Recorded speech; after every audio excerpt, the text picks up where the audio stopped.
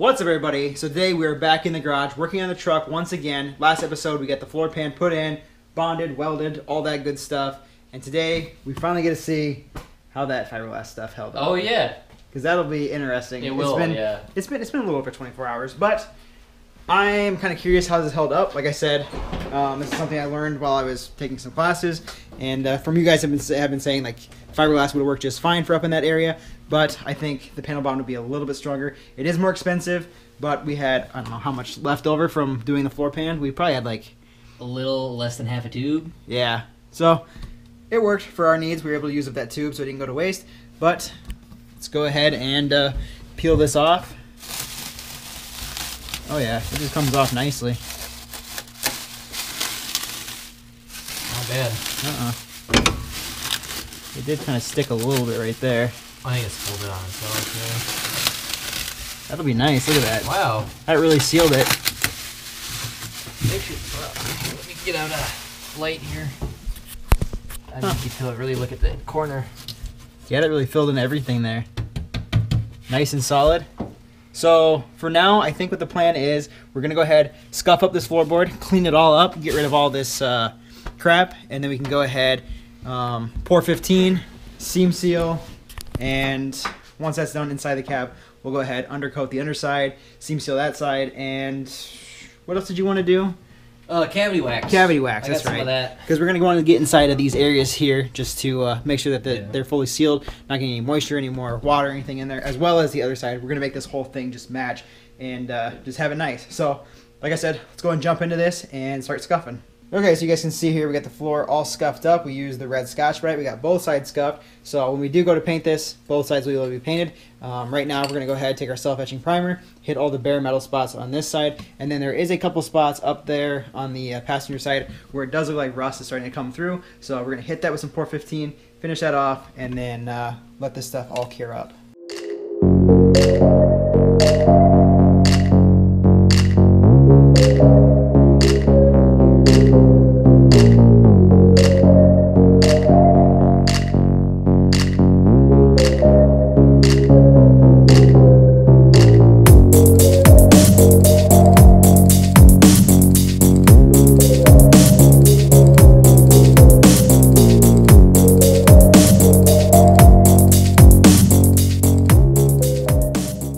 Okay, so we just got our self etch sprayed. Everything is all cured up. It's been about 20 minutes now.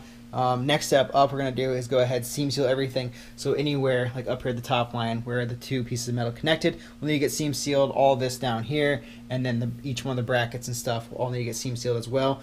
Also, also we want to go ahead and do the, each spot weld, just because when you weld, there is a chance there could be a little bit pinhole, and I don't want any moisture or anything coming through, so I want to have that all sealed off and the underside, which we'll probably do that on our own time just because you guys won't be able to see that. Um, it'll be too dark underneath there. You guys will be able to see this through the top half, but as far as bottom goes, you're not to be able to see that. And then once that is completed, we should be able to go ahead and paint this, but we're going to have to wait 24 hours because we did this over here, which has been POR-15. Um, those are just kind of the questionable spots we had where the uh, rust was is kind of popping through. Um, yeah, just got to let that cure up. But like I said, let's go ahead and get this seam sealed.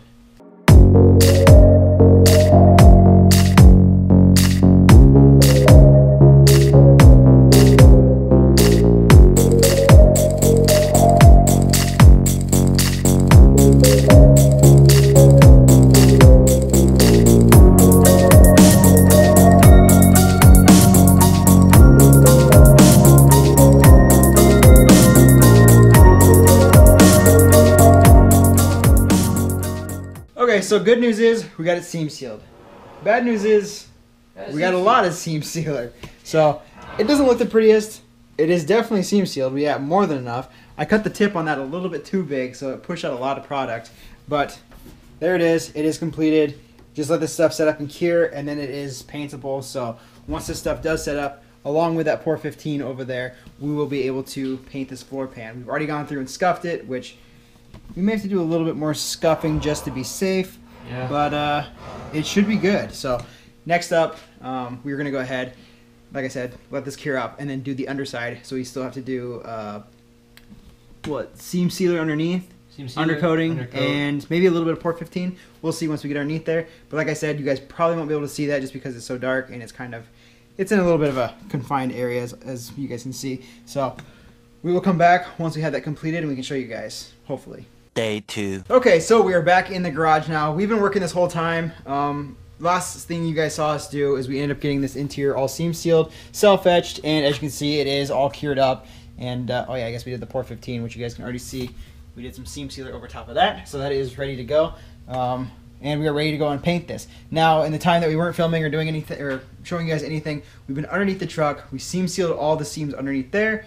We self etched, and we, I guess, Luke undercoated. Yeah, short straw. Yeah, that That was a s- That was an awful. awful job. So I'm glad I didn't have to go underneath there. I mean, even well, the seam covered. Yeah, you're a mess, dude. But the seam sealer was also quite awful too. I mean, both I'm of them. surprised you didn't get caked with it. I, I came close. I came really close. We don't really have like the best setup here. The truck is just kind of tilted up on the side yeah. and basically crawling underneath there and shoot and go. So it it works. It'd be nicer to have like a bigger shop space, and it would really be handy if we had a freaking lift a or lift something. would, would have been But great. yeah, so we're making do with what we have. Um, we can go ahead and kind of show you guys underneath here. I don't know how well you guys can see it, but it is all undercoated, seam sealed. Yeah, I have. It's pretty. I have no idea what you guys can see all underneath there, but yeah. So for now, we're gonna go ahead and uh, finish off this floor pan. We've gone through and done a ton of stuff, like you guys have been watching in the past two videos, and uh, we've got everything masked off, ready to go. So our next step up will be go ahead and paint the floor pan, get it completely done. Um, I think the color we're going with is just Black. just straight plain old black. Yep. So SEM paint though. it'll all be underneath the carpet, so it doesn't really matter. Um, the only thing we're going to see is the back wall, which we'll probably be doing something with this here in the future. But for now, let's get this floor pan done and painted.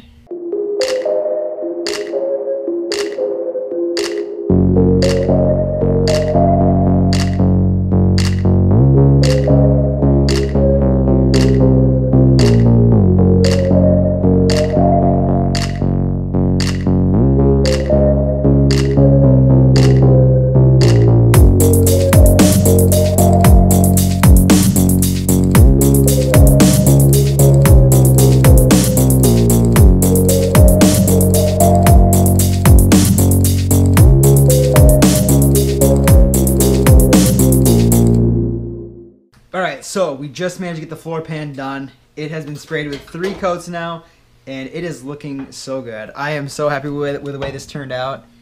Look at that. It's real crispy. It's so shiny. I don't know if it's going to stay this shiny it's or weird, yeah. but uh, it'll probably be more of a satin finish is what I'm thinking. I mean, it, we've, it's it's had plenty of time to flash off now, Mhm. so I'm kind of thinking it might just stay this shiny. I know you're not going to see it. It's obviously going to get covered up by carpet, Yeah. but just for you guys to see, it's it's done. And to know it's done. It's Finally looking good. Done. It's got a ton of work into it. It's seam sealed. It's undercoated. It's POR-15. It's all that good stuff. So it should not have any rust, any issues, or anything here in the future as far as moistures and stuff go. So we should be good with the floor pan. So hopefully here in the next video we can go ahead and install the rest of the interior.